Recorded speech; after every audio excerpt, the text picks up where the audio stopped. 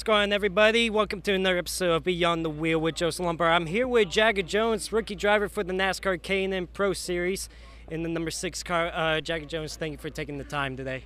Oh, no problem. Thanks for talking to me. So uh, this is your first year in the K&N Series. Uh, how are you enjoying this so far? You already got one race down. You guys are getting ready to go tonight for your second race of the season. Yeah, for sure. It's been good so far. Um, we got a second place. We're second in the points. So we're coming here, second race. Uh, pretty much a home track for me. I've done a lot of late model races here, so uh, looking for good things tonight. You've done a lot of late model races out here in Irwindale, but this is your first race ever in the K&N car, in a stock car. Um, you guys already ran like a few practice sessions since you guys been here. Any difference between a late model and a stock car out here? Yeah, for sure. You definitely got more power going down the straightaways, a lot more horsepower, and it's a lot heavier of a car, so you really feel that going through the corners uh, trying to get them to turn and get off the brakes. Um, it's yeah, late model model's a lot lighter, and you don't have as much power. So this it's a bit different, but we're been adapt. I've been adapting pretty well. So I do want to ask you, how did you get involved in racing? Uh, my grandpa, uh, he raced Parnelli Jones, so he's been racing for for much, much, much longer than I was since I've been alive. And then my dad raced as well, so so then I kind of just followed in their footsteps. Awesome, man. So I, I watched you out at Las Vegas and you, your very first race, and obviously you have the talent to be successful in the K&N Series this season. What did I know? You guys ran dirt, but did you learn anything from that race that you can uh, provide for future races down the road this season? Yeah, for sure. It was a great race getting to be next to passing cars, kind of just getting a feel for the bigger car. I know it was on dirt, and something I learned was maybe be a little more aggressive through lap traffic, kind of force the issue more in some situations instead of just ride around there at the end, even when you got a big lead. So uh, we'll take that into account tonight and try to be a little more aggressive.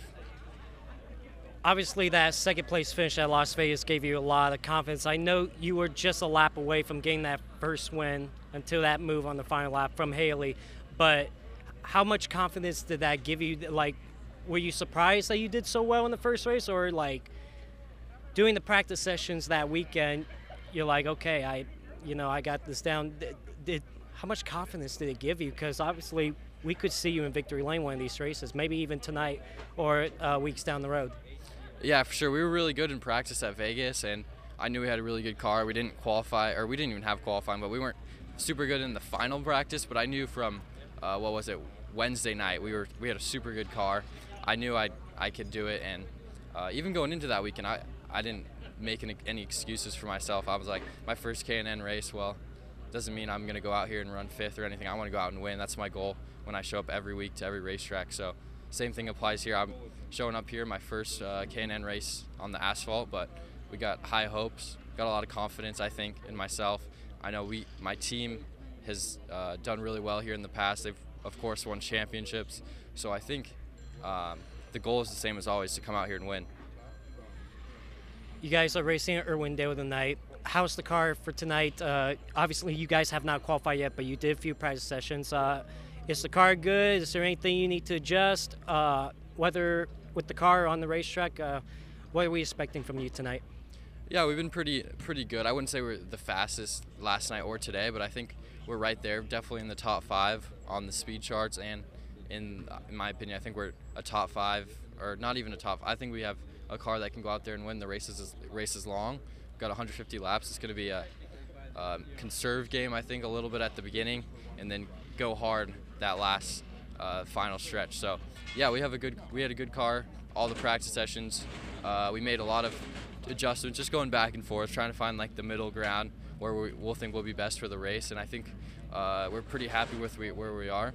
Um, I'd say we're not blistering fast out of the gates like some of these other cars are throwing out some good laps, but I think we'll have a good shot in qualifying and uh, from there just be smart in the race. Got a couple of fan questions uh, from my viewers. Uh, so prior to your entrance in the sea of an actual race car, did you partake in any race simulators such as iRacing that may have helped you get where you're at today, or do you use iRacing as a tool to uh, to do any practice runs to be prepared for race weekend? Yeah, for sure. I'm always on iRacing. I host some races every once in a while, and um, I do a lot of practice on there. But I actually started in go karts, and then I started racing legends and stuff, and that's when I got iRacing about I think five years ago, a couple years after I actually started racing. But for sure, iRacing. I especially if I haven't been to a track before and we're going there for a race weekend, iRacing is a huge tool that can help me.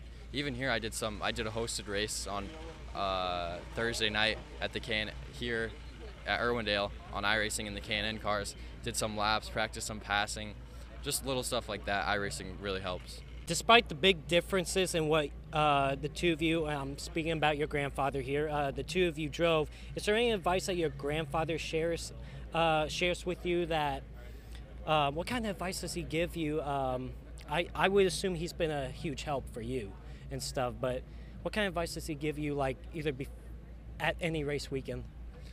Yeah, he, he doesn't get to come to too many races, but for sure he's been helping me out, giving advice. Uh, he's really big on. He always tells me that it's easy to go out there and go fast, but it takes a real driver to go out there and win. It's a whole different story than just being fast. So he's got a lot of advice, a lot of stories for sure, um, and it's really cool to be able to talk to him and have him as a grandpa, and even go ask him for advice.